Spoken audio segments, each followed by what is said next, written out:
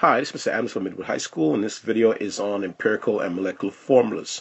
Now, we did a previous video on empirical and molecular formulas. Right? In this video, we will actually um, find the empirical formula from either percentages given or masses given of substance.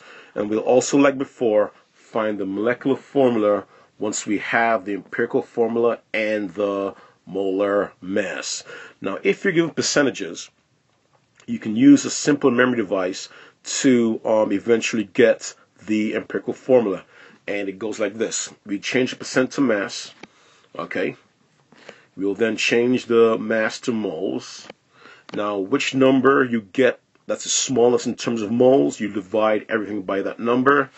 And if we get a fraction like 0.5, we'll multiply till whole.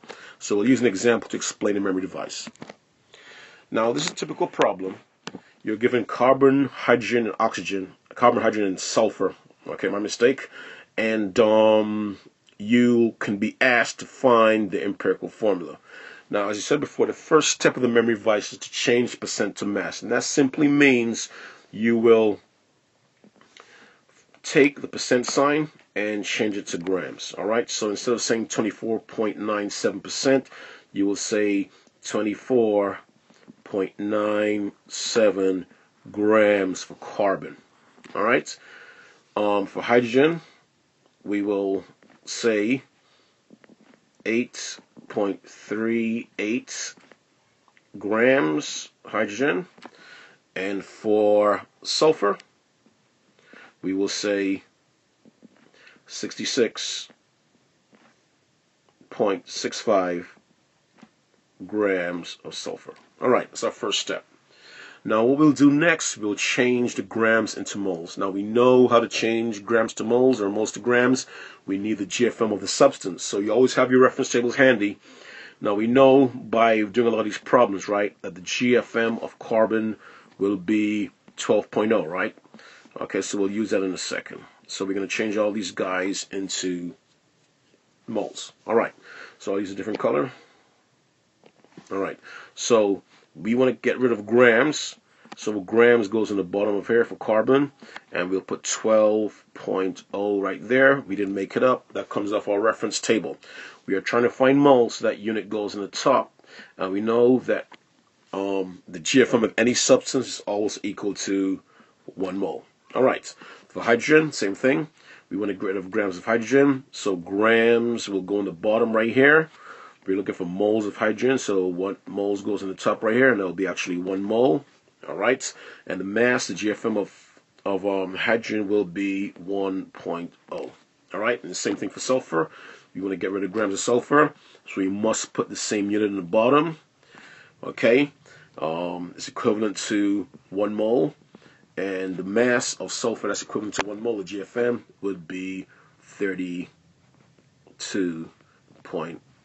All right, so this will get us um, our masses to moles. So we'll put our equal sign right here for each of these guys, and you'll have your calculator handy, and you'll calculate these guys right here. All right. So what's going to happen is um, 24.97 divided by 12.0. From my calculations to two decimal places, I get 2.08. Now normally when you do these calculations, you want to uh, put your answers at two or three decimal places, okay? All right, 2.08 moles for carbon. Okay, for hydrogen, it's going to be approximately 8.38 moles.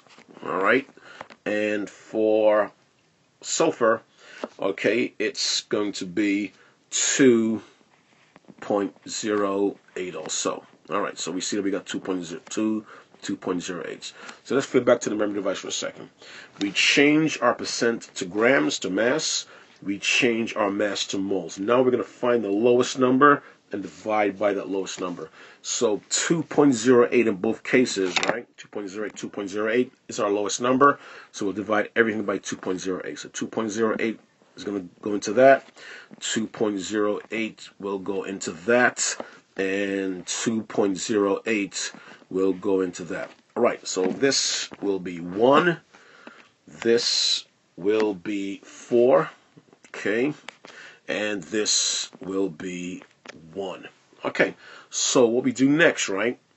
We have all nice whole numbers here, so we don't have to multiply to a whole because all our ratios are whole numbers, so we don't have to um, worry about the last step right now.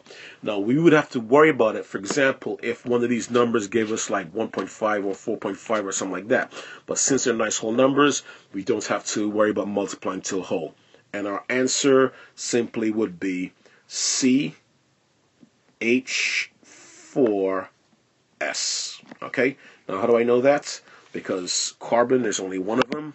There's four hydrogens and there's one sulfur. So we don't have to show ones for subscripts when we have um, uh, just one.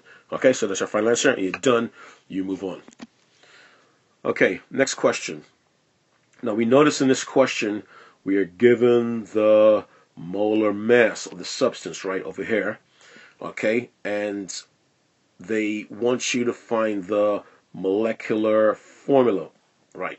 Now before we can find the molecular formula we must know the empirical formula. So we do the same thing again. We do our percent to mass. All right? So they give us percentages. We will change the percentages to grams. So instead of saying 49.48% of carbon like they have right here we will simply say 49.48 grams of carbon. Okay, we will say 5.19 grams of hydrogen. We will say 28.85 grams of nitrogen. And last but not least, 16.48 grams of oxygen. So that's our first step. We change our percent to mass. Now the next step is going to be change the mass into moles. So we'll set up our conversion factors as before for each of them. We will draw a dividing line. Okay, well, there's a different color again. Use orange. Now we want to change grams of carbon into moles of carbon. So we looking for moles. So moles goes in the top. We need to get rid of grams of carbon. Okay. So grams must be in the bottom. So grams of carbon goes in the bottom. And we know that 12.0 grams is equivalent to how many moles? Yes, GFM is equivalent to 1 mole. And we do the fill in the rest. So 1.0 grams for hydrogen goes here because we're going to cancel grams of hydrogen out and that's equivalent to one mole for hydrogen. We will put in the bottom right here 14.0 grams for nitrogen. Alright, this is GFM nitrogen. That's also equivalent to one mole. And oxygen will be 16.0 grams for oxygen and one mole goes there. Now all these numbers are on your periodic table. So please uh, don't panic. We didn't make them up. They're on your periodic table. The GFMs of each of these elements right here. So simply, what's our next step? We will um, do divisions, right? And what's going to happen is we will get, for this first guy right here, we will get approximately 4.12 moles, all right, for carbon. Now the next guy will simply be 5.19 moles. Now, guys, always, always use units to see which step you're at because sometimes what happens is folks forget um, to put units and they forget they, they skip a step by mistake and they get horrible answers. So always put your units in to see where you're at. All right. Okay. So for nitrogen, okay, it's going to be 2.06 moles. And for oxygen, it's going to be 1.03 moles. All right, so we see that our lowest number is, out of all these guys, is 1.03, right? Now, once again, we change our percent to masses, we change our mass to moles. Now we're looking at our third step, divide by smallest number, which is 1.03. So we'll divide everything by 1.03. So I'll use a different color. Now this divided by 1.03, this will divide by 1.03 and so on. Alright, so just fill them all in. 0.03. Alright, so this will be equal to approximately 4. This will be equal to approximately 5. This will be equal to 2. And that will be equal to 1. So what happens now is you have a empirical formula, right, of C4, okay, because 4 right here for carbon, all right, H5, because there's H's and there's 5 of them right there, N2, put it in there, N2, and O, all right, because there's only one oxygen in the ratio. Now they asked you to find the molecular formula, right? And we did this before. You need to get the mass, okay, of this guy right here. Okay, you get the mass of that. That's your mass of your empirical formula. So what's going to happen is the mass of the empirical formula will go in the bottom here, all right, and your molar mass or your GFM will go in the top and we'll divide those two guys. So 194.19 will go in the top, and the mass of this right here, this empirical formula, will go in the bottom. Now, if you add these guys up, you'll see that um, 4 times 12 for um, carbon is 48. We have 5 hydrogens. We have 2 nitrogens. 2 times 14 is 28 and oxygen is 16. We only have one of them.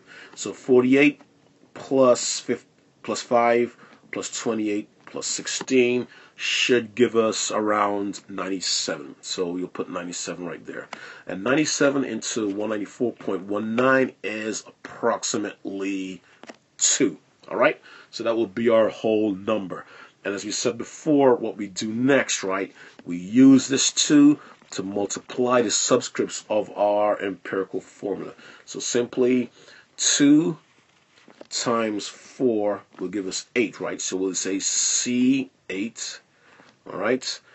2 times 5 will give us 10, so say H10. 2 times 2 right here will give us 4 nitrogen, so N4, and 2 times 1 for the oxygens will give us O2. Now this would be our molecular formula, okay, for this substance caffeine, okay, which is famous in coffee and tea and, and so on. Okay, let me move on. All right, last problem. Now in this problem right here, notice, right, they didn't give us any percentages. They started us off with grams, so we don't panic. They helped us out. So they skipped step one, number one, and they gave us, they started us off with step number two. So all you simply do is you put your grams down here, point three to one grams down for carbon. You put your um, grams down for is point zero four four grams for hydrogen, and you put down your um, grams of sulfur, which is 0.285, and you just continue as before. Okay, now we took they took care of percent to grams for us. No, we want to change our grams into moles. All right, so we set up a conversion factor for each of them. We are looking for moles in each case. So what happens is, once again, we will put 12.0 grams for carbon in the bottom because we want to get rid of these units right here. And we're looking for moles, so moles goes in the top and one goes there. So likewise for hydrogen, we have 1.0 grams for hydrogen. It's always the GFM of any substance is always equivalent to one mole of that substance. All right, and for uh, sulfur, it will be 32.0 grams per every mole. All right. So we next the next step would be simply doing divisions. All right. So when we do the divisions, we will get for the first guy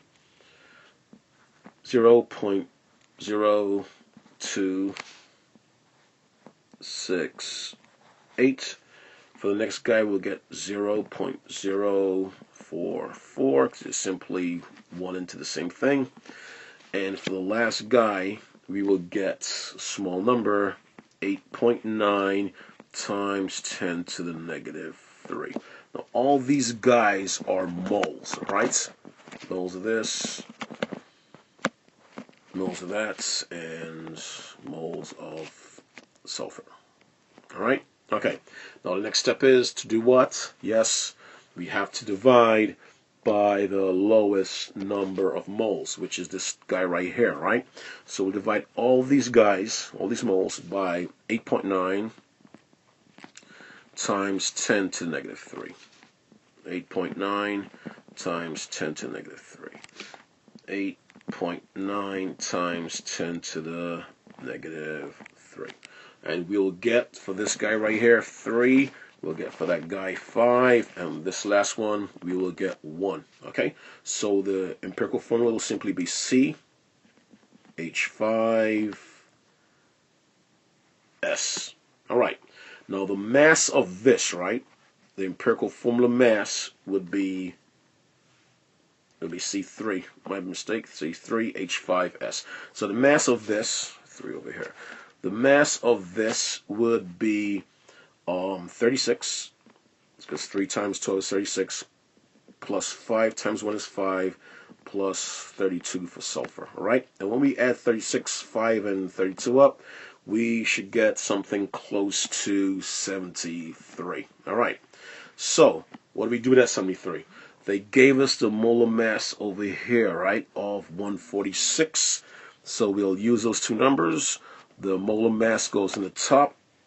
Okay, the molar mass is 146, right? Divide that by 73, which is the mass of the empirical formula we will get 2 from that. And what do you do with that 2? Yes, you will multiply the subscripts of this empirical formula right here. So 2 times 3 gives us 6 carbons, so C6. 2 again times 5 will give us H10 for hydrogens. And last but not least, for sulfur, you will simply get 2 times 1 is 2 and that would be your molecular formula. So C6H10S2 is your molecular formula, C3H5S is your empirical formula, and you're done. All right. All right, guys. I hope this video was a help.